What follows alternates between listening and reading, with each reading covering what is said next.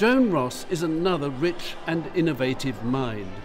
Her work is inventive, humorous, but subversive. The narrative, though, is incisive. As one critic has commented of her work, it has a mean right hook. But the great thing about her work, Barbecue Sunday in particular, is that she tells the story of colonization against the background of a notional Joseph Lycett colonial landscape painting with a wonderful cast of characters and playful scenes.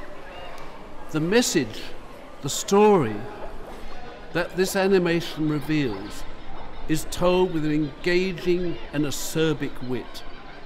Humour in the telling of a dark story can be very, very incisive.